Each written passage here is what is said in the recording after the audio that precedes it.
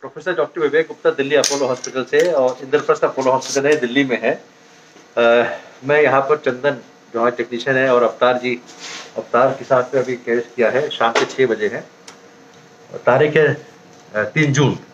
कल इनकी एंजियोग्राफी की थी इनके तीन नसों में ब्लॉकेज था।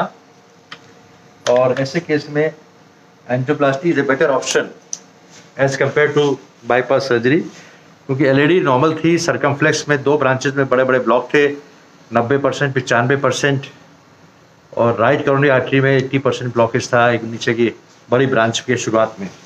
मैं दिखाना चाहता हूँ कि इनको एंजाइना हुआ था। आपको तकलीफ़ क्या होती? छाती में दर्द हुआ था? दो बार? बैठे बैठे हाँ। तो बैठे बैठे रात को नींद खुल गई इनकी, और इनको एंजाइना हुआ। नेक्स्ट व्यू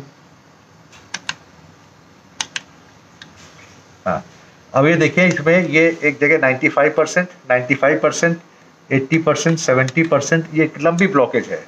और एक जी ब्रांच में है। Next L E normal L जो लेफ़्ट एंटी डिसेंडिंग आर्टरी है, उसमें माइल्ड ब्लॉकेज है केवल।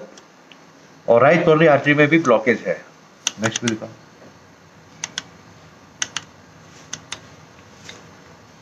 यहाँ पे करीब 80 70 टू 80 परसेंट ब्लॉक है एक ब्रांच में। तो आज हमने तीनों नसों को नसें खोल दी हमने, और कैसे किया वो तो आपको पता है, लेकिन सबसे पहले ट्यूब डालते हैं। ट्यूब डालने के बाद वायर डालते हैं, और अलग अलग लोकेशन पे हम स्टैंड लगाते हैं। स्टैंड लगाने की जो क्रिया होती है थोड़ा सा टिपिकल होती है। देखिए, एक नस के अंदर वायर चला गया। आप देख रहे हैं काला काला एक वायर गया हुआ है।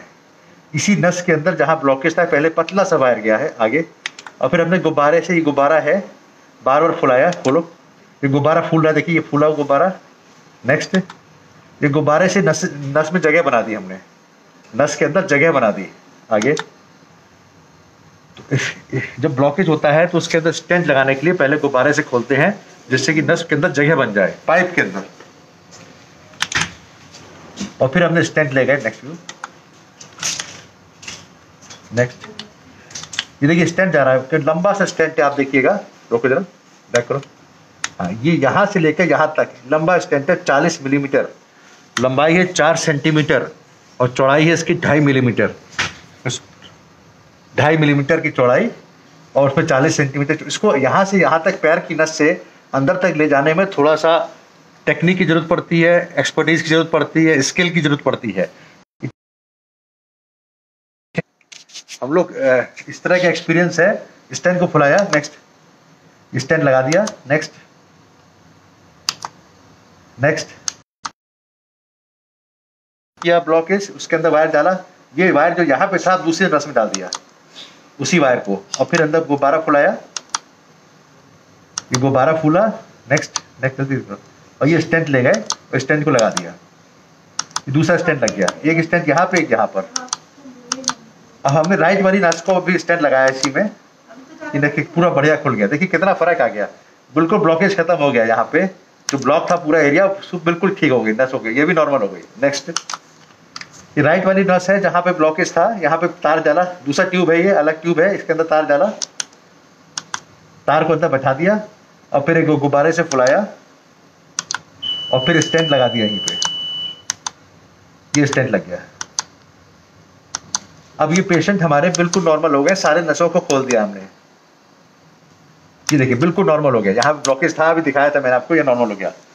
अब देखिए ये क्या है ये क्या क्रिया है? Angioplasty stenting is a technique which is a better than bypass surgery हमने तीन स्टेंट लगाए एक ही बार में और इनकी जहाँ जहाँ नसों में ब्लॉक खोल दिया बिना ऑपरेशन के बिना छाती खोले हुए। बाईपास सर्जरी में छाती खोलनी पड़ती है आठ दिन भर्ती पेशेंट भर्ती रहता है। ठीक है आप? आप ठीक है? बिल्कुल ज़ोर से बोलिए क्या नाम है आपका? ठीक है। बहुत अच्छी बात श्रवण कुमार इनका नाम है। इनका नाम बड़ा अच्छा है श्रवण कुमार। और ये बिहार से है, उनकी डॉक्टर बैंक में काम करती हैं। और ये बहुत अच्छी तरीके से इनका काम हो गया है। I am thankful to God and Chandan and Avatar to support this procedure आजकल ऐसे केसेस में बाईपास से ज़्यादा अच्छा एंजियोप्लास्टी होती है। कभी, कई बार बाईपास की ज़रूरत पड़ती है कब? तो बहुत ज़्यादा ब्लॉकेज होते हैं। लेफ़्ट मेन में ब्लॉक होता है। नशे नहीं खुल सकती। हंड्रेड परसेंट कई ब्लॉक होते हैं तो बाईपास करना पड़ता है। देखिए angioplasty is a better technique तीन स्टेट लगा के इनको पूरी तरीके से भगवान कृपा से ज़िंदगी भर ठीक रहेंगे। Professor doctor Vivek Gupta with Chandan and Avatar in Apollo hospital on third of June at six five PM M छः बज के शाम को पाँच minute. Thank you very much ये हमारी कैथलैब है। ये सिस्टर्स काम कर रही हैं। और पेशेंट बिल्कुल ठीक है, लेटा हुआ है। आईसीयू में शिफ्ट करेंगे, दो दिन बाद छुट्टी करेंगे। दीपाली हाँ हमारी सिस्टर ये नर्सेज हैं, दीपाली इनका नाम है। बड़ी मेहनती हैं ये। Thank you very much